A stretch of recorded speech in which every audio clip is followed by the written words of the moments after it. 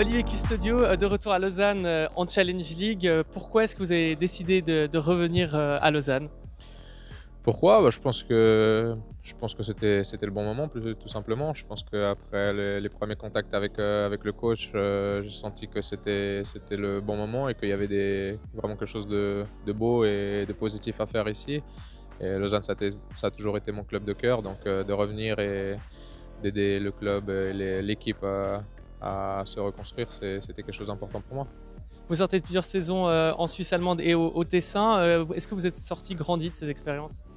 Ouais, je pense. Je pense déjà, déjà par l'âge. Je pense que je suis plus le même qu'il y a 5 ans, donc euh, déjà pour ça. Et je pense que aussi de, d'avoir découvert de nouvelles cultures, d'avoir côtoyé de, de, grands joueurs m'a aussi aidé à évoluer en tant que, en tant que joueur, mais je pense aussi en tant qu'homme. Donc voilà, je pense que je suis, je suis un, un autre joueur, un joueur un peu plus mature et un homme un peu plus mature aujourd'hui.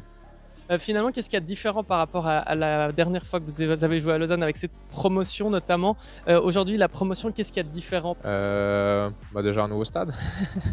non, je pense que le, tout, le club a changé. Hein. Je pense que le, avec l'ancienne direction, l'ancien stade, c'était quelque chose de complètement différent. Là, on voit que, que vraiment tout est mis en place pour nous, pour qu'on fasse on se concentre vraiment que sur notre, euh, notre job qui est sur le terrain. Et, et voilà, je pense que c'est ça aussi qui fait la différence avec, euh, avec les années passées. Et je pense que c'est aussi ça qui fait que, que Lausanne a tout pour être un, un, un grand club du paysage suisse. Merci Olivier.